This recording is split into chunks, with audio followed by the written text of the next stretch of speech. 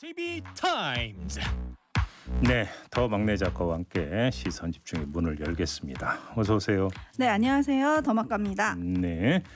자, 오늘도 AS 타임부터 가볼까요? 네, 어제 일제 강제징용 피해자와 유족들이 일본 기업을 상대로 낸 손해배상 청구 소송 각하 소식을 전하면서 저희가 좀 울분을 토했는데 일본이 이걸 또 어떻게 왜곡 인용할지 걱정이다 이런 얘기를 했었잖아요. 예.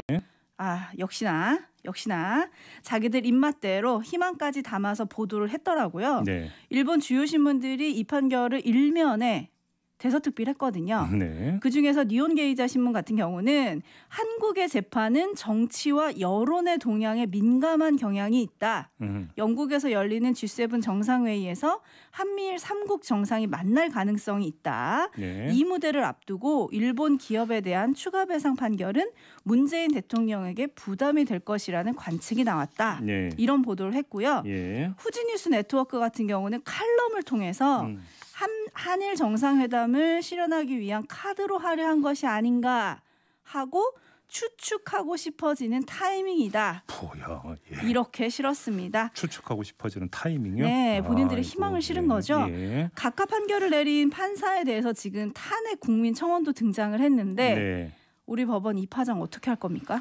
제가 볼 때는 일본어로는 정말 엉터리 보도를 하고 있는 게요. 네. 니온 게이자이가 보도하기를 한국의 재판은 정치와 여론의 동향에 민감한 경향이 있다고 했다고요. 네, 여론의 동향에 민감해서 이런 판결을 내립니까? 재판부가 둔감한 거죠. 둔감한 거 그러니까 오버원입니까? 그렇죠. 그러니까 입맛대로 이전에 뭔가를 잘못 진단하고 있다라는 얘기를 안 드릴 수가 없는 거고요. 네, 청와대 청원 이야기를 해도 현실적으로 지금 이건 뭐 탄핵을 할 수가 있는 부분은 아니지 않습니까? 네, 판결 내용이 마음에 들지 않는다고 탄핵을 할 수 있는 성질의 문제는 아니라고 봐야 되는 거기 때문에 음, 다만 대한민국 국민으로서 어떤 이 재판 결과에 대해서 평을 할 수 있는 권리는 있죠. 네, 그렇게 해서 여론이 모아지는 것도 자연스러운 현상 아니겠습니까? 그렇죠. 자, 그래서 지금 들끓는 여론에 대해서 누가 뭐라고 할 수 없는 거 아니겠습니까? 네, 목소리를 많이 내셔라. 네, 재판부도 뭔가 귀는 뚫려 있을 거 아닙니까? 네. 그잖아요. 아 근데 지난번 서교 전 판사가 제이비 타임에 와서 했던 얘기가 갑자기 생각나는데 네. 아, 판사들이 뉴스도 잘 안 보고 예, 신문도 잘 안 본다고 예. 아 보셔야 되는데 현님이 저 청원했어요 진짜 화납니다라고 하면서 빨간 얼굴 세 개를 보내주셨는데 예. 네 저도 화가 납니다. 자 그리고 최종건 외교부 1차관이 G7 정상회담 관련해가지고 음. 현재 한미일 정상회담을 추진하지 않는 것으로 안다. 그러면서도 여러 가능성이 있을 수는 있다. 이렇게 밝혔다는 뉴스가 오늘 아침 6시 반에 들어왔거든요. 예. 뭐 이건 좀 더 지켜보도록 하겠습니다. 네. 자, 화를 좀 가라앉히고 오늘 주목할 뉴스들을 챙겨 보겠습니다. 음, 첫 번째 뉴스 오디오로 먼저 만나보시죠. 국민권익위원회가 투기 의혹이 있다고 지목한 민주당 의원 12명, 민주당이 이들을 향해 무소속으로 수사를 받으라면서 당에서 나가줄 것을 권유했습니다. 과도한 선제 조치이지만 국민 불신을 해소하기 위해 집권당 의원이라는 신분을 벗고 무소속 의원으로서 공정하게 수사에 임하여 내로남불, 그 부동산 문제에 대해 예민하기 때문에 우리 스스로 집권당의 외피를 벗고 탈당한 상태에서 적극적으로 수사에 에, 협조하고 네, 어제 가장 큰 뉴스였죠. 네. 모두 12명 의원인데 지역구 의원은 탈당 권고하기로 했고요. 그다음에 비례대표 의원은 출당조차 하기로 하지 않았습니까? 네. 자, 이거에 대해서는 잠시 후 3부에서 민주당 최고위원 연결해서 인터뷰를 할 테니까 이때 소화를 하도록 하고요. 네. 다른 점을 좀 하나 좀 짚어보도록 하겠습니다. 유탄을 맞은 곳이 좀 있는 것 같아서 이 점만 좀 짚어보려고 합니다. 국민의힘 얘기하시는 건가요? 그렇게 생각을 하실 텐데요. 그건 아니고요. 아닙니까? 자? 아무튼 국민의힘은 국민권익위원회는 그못 믿겠으니까 감사원에 맡기겠다는 거 아니겠습니까? 네. 근데 저는 국민의힘 얘기가 얼마나 이율배반이냐면 자 권익위원회를 못 믿겠다는 게 왜냐면 권익위원장이 그러니까 전직 민주당 의원이기 때문 뭐 이런 거 아니겠습니까? 네. 그잖아요. 그런데 그러면 감사원에 가면 누가 있습니까? 최재형 감사원장이 있는데 국민의힘에서 입만 열면 하는 얘기가 뭡니까? 우리 당 대선 후보 가운데 한 명이라고 이야기를 하는 거 그렇죠. 아니겠습니까? 근데 감사원 가면 됩니까? 국민권익위원회를 그 등지고 있는 이유와 감사원을 찾아가는 이유가 너무 이율배반이라는 생각 안 들겠습니까? 안 들어요? 그러니까 심지어 국회의원은 또 감사 대상도 아니라면서요. 이건 감사를 할 수 있는 사안도 아니에요. 그렇기 네. 때문에 결국은 피해가려는 꼼수 아니냐 이런 이야기가 나오는 것 같은데요. 글쎄 피해갈 수 있을까요? 민주당이 이렇게 초강수를 둬버린 상태에서 네. 요거는 좀 나중에 다시 이야기를 하도록 하고요. 네네. 오늘 제가 유탄 맞은 곳이라고 말씀드리고 싶은 곳은 어디냐면 정부 합동 특별 수사본부입니다. 네. 줄여서 특수본이라고 부르는 곳인데 사례 하나만 지금부터 제가 말씀을 드려볼게요. 이 특수본이 5월 중순에 5월 16일인가 17일인가 이때 양이원영 의원에 대해서 무혐의 결정을 내렸어요. 그랬었어요. 네. 어머니가 기획부동산을 통해서 경기도 광명 일대의 땅을 산 건 맞지만 사기 당한 거다. 그 시점이 양이원영 의원이 국회의원 신분이 아니었기 때문에 내부 정보를 받을 위치가 아니었다 등등의 이유를 대서 네. 양이원영 의원에 대해서 무혐의 결정을 내렸습니다. 양현영 의원도 그래서 사기다 뭐 이렇게 얘기를 했었죠. 그렇죠. 그래서 이제 양이원영 의원도 어제 당 방침이 나온 후에 바로 이 점을 강조하면서 나는 억울하다 이렇게 이제 반발한 거 아니겠습니까? 네. 근데 자 여기서 우리가 먼저 하나 확인할 게 있습니다. 민주당이 국민권익위원회에 전수조사를 의뢰하면서 의원만이 아니라 의원의 직계 가족까지를 포함을 시켰어요. 그랬죠. 그러니까 지금 이 경우는 뭐냐면 양이원영 의원이 아니라 양이원영 의원의 어머니 음. 직계 가족.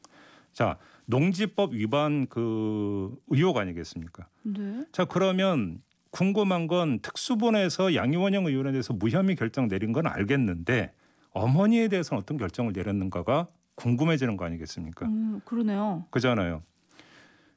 근데 알 길이 없어요.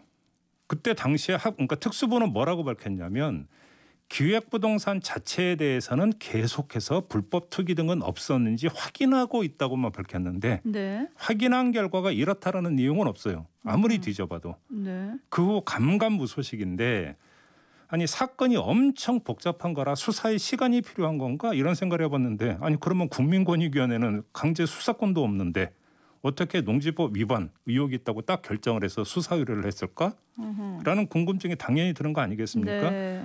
이 문제를 제기하는 이유가 있는데요. 민주당은 뭐라고 했냐면 당에서 내보낸 뒤에 무혐의가 확인되면 복당시킨다고 했어요. 그렇죠. 돌아오라. 그러니까요. 털고. 네. 이- 그러면 양이원영 의원의 경우만 놓고 본다면 무혐의 여부가 결정이 돼야 될 거 아닙니까? 근데 여기서 대상은 본인이 아니라 어머니잖아요. 네. 그잖아요. 근데 특수본에서는 말이 없어요. 어떻게 되느냐라는 겁니다. 그잖아요. 어, 네, 네. 만에 하나라도 특수본이 이에 대해서 유야무야 해버리면 어떻게 되는 겁니까? 이건 미궁에 빠져버리는 것이 되는 거잖아요. 물론 어허. 이런 일이 있어서는 안 되겠지만 네. 그렇기 때문에 특수본 뭐 하고 있냐 이 음. 얘기가 안 따라 나올 수가 없다라는 거예요. 이건 그렇죠. 저는 네. 시간 관계상 양이원영 의원의 경우 하나만 지금 말씀드렸는데 여러 건이 있거든요. 그래요. 또 가장 특정적인 게 또 김한정 의원 같은 경우도 본인은 지금 억울하다고 엄청 항변을 하고 계신데 이분도 사실 경찰서에서 혐의 없음 처분을 받았는데 권익위는 지금 위반이라고 넘긴 거거든요. 네. 근데 왜 권익위랑 특수본이 이렇게 포착한 혐의와 판단이 다를까? 음. 이 물음표를 던지는 오늘 보도들이 굉장히 많았는데 음. 지금 저희 PD가 찾아준 기사에 의하면 특수본이 부동산 투기 송치 그러니까 부동산 투기로 송치한 529명 중에서 음. 내부 정보 이용자 공직자는 42명뿐이다. 음. 뭐 요런 지금 기사도 나왔는데 근데 그건 내, 내부 정보 이용 혐의고 네. 예를 들어서 이제 그 혐의가 농지법 위반 혐의도 있고 건축법 위반 혐의도 있고 명의 신탁 혐의도 있는 거 아니겠습니까? 그렇죠. 그러니까 지금 그 국민권익위원회는 법이 하나라도 걸리면 그런 의혹이 제기되면 다 일단 좀 넘긴 거잖아요. 네. 그 차원에서 이야기한다면 내부 정보 이용이 아니라 농지법 위반이라도 법 위반이니까 이렇게 이야기가 되는 거죠. 네. 음. 그러니까 송치 인원이 너무 적은 수준이다. 뭐 이런 얘기들이 지금 나오고 있는데요. 네. 요게 이제 특수본이 수사를 못 하는 건지 안 하는 건지 뭐 이런 걸 좀 가늠할 잣대가 아니냐. 그렇죠. 요런 얘기들이 나오는 거고요. 예. 지금 많은 분들이 의견을 좀 보내주고 계신데 음. 702 하나님은 그러니까 그냥 특검 갑시다 해주셨고요. 네. CKJ님은 민주당 해당 의원들은 그냥 깔끔하게 탈당하고 정리하세요. 음. 그래야 신뢰를 다시 받을 수 있습니다. 제가 볼 때는 민주당 지도부의 고충을 저는 그 충분히 헤아릴 수 있다고 생각합니다. 네. 뭐 그럼 또 이제 경우를 따져가면서 이 사람은 빼고 해버리면 그 뒤에 무슨 이야기가 따라붙겠습니까? 그잖아요. 그렇죠. 저는 그런 점에서 민주당 지도부의 일괄 처리를 했던 그 결정의 배경은 충분히 아마 전달이 될 거라고 생각을 해요. 근데 만에 하나라도 거기서 억울한 경우가 있다면 또 그거는 또 나중에라도 가려져야 되는 부분이겠죠. 그잖아요. 그렇죠. 근데 물론 여기서는 원칙은 일관되게 계속 지켜져야 되는 문제가 되는 거고요. 그런 점에서 빨리 하자. 해서 깨끗하게 끝내자. 그다음에 이제 또 불복해서 그 나는 못하겠어라고 나는 억울하고 하는 사람 중에는 또 본인은 억울하지만 다른 사람이 볼 때는 억울할 거 하나도 없는 경우도 있을 거 아니겠습니까? 그렇죠. 논란이 계속될 이유가 없고 질질 끌 이유가 없다. 빨리 끝내자. 확실하게 끝내자 이 이야기인 겁니다. 제 얘기. 네, 뭐 지금 경찰이 내사와 수사를 하고 있다니까 빨리빨리 결론을 좀 내주시면 좋겠다. 예. 당부 말씀을 드리고 탈당 권유가 중징계가 맞냐 이런 비판도 있는데 요거는 자- 잠시 후 3부에서 다시 짚어보도록 하겠습니다. 네. 제이비타임즈 다음 주목할 뉴스는 또 군인이네요. 아 정말 참 이번에는 군 폭행 사건이 또 나왔는데요. 네. 동해안에 위치한 육군 23사단 예비군 지휘관이 상근 예비역 병사를 폭행을 했다고 합니다. 음, 상근 예비역은 이제 집에서 출퇴근하는 병사거든요. 네. 지난 7일 오후에 벌어진 일인데 읍대장이 병장과 일병에게 청소를 지시한 뒤 2분 만에 청소를 하지 않는다는 이유로 너 뒤질래? 죽고 싶어? 이 XX야 라고 폭언을 하고 네. 테이블을 발로 차고 병장의 머리채를 잡고 뺨을 두 차례 세게 후려쳤다고 합니다.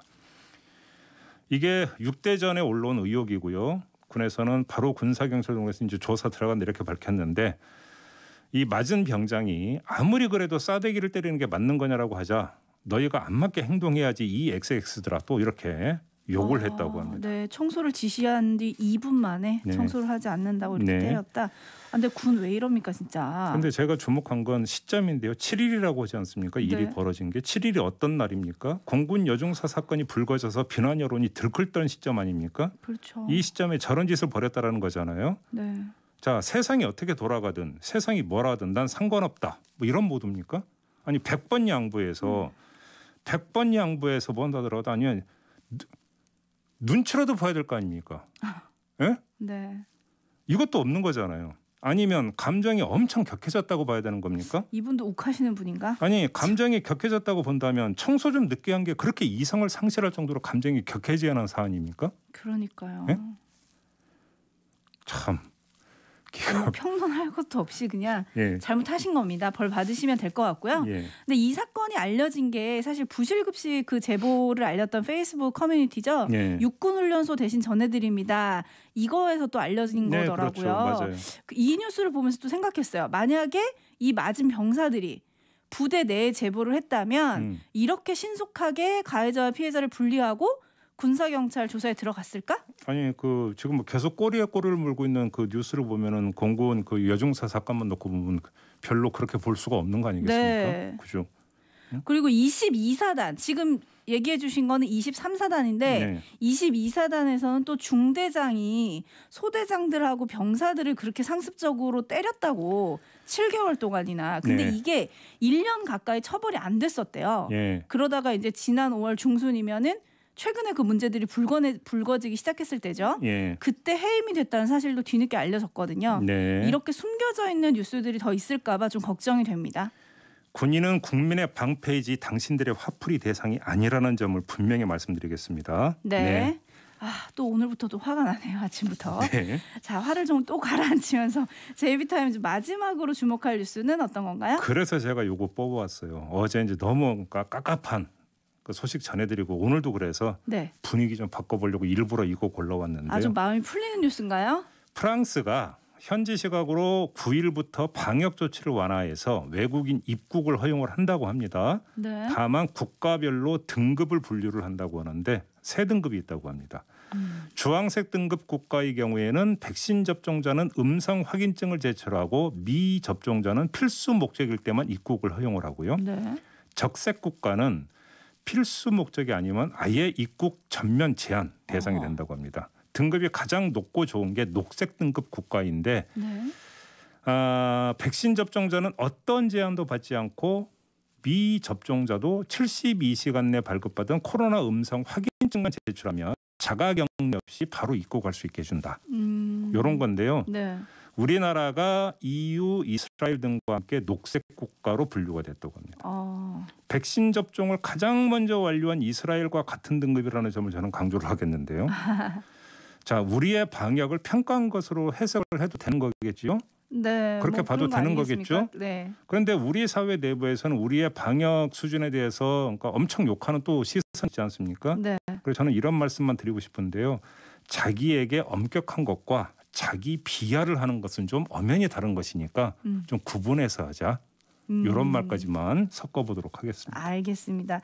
8711님이 네. 우리 언론만 보면 아직도 방역이 엉망인 것 같던데요. 음. 이제 외신만 보고 살아야 하나요? 해주셨는데요. 저는 갑자기 어제 사과한 모 시장님이 떠오른다. 뭘모 시장님이야 권영진 대구시장 결국은 사과를 했대요. 네. 네, 사과를 하셨더라고요. 예. 네, 지금 현재 우리나라 그 음. 백신 접종 속도를 보면 이번 주 중에 전 국민의 20% 수준인 천만 명 이상이 1차 접종을 마칠 거라고 하더라고요. 예. 불안감은 좀 덜어내고 음. 안전하게 백신 맞고 방역 수칙 잘 지켜가지고 음. 올해는 코로나와 좀 안녕할 수 있으면 좋겠습니다. 네. 휴가도 좀 가고 말이죠. 혹시 뭐 이런 소식이 이제 그 괜히 샴페인 미리 터트린다고 또 이제 어떤 방역 분위기를 좀 느슨하게 하는데 그 악영향을. 끼칠까봐 네. 음, 조심스러워하긴 했습니다만 네. 그래도 가끔씩 냉정한 어떤 그 자기 판단은 필요한 거 아니겠습니까? 네. 근데 너무 우리 사회의 일각이 우리 사회의 방역 수준을 너무 부정적으로 바라보는 경향이 있어서 좀 전해드린다.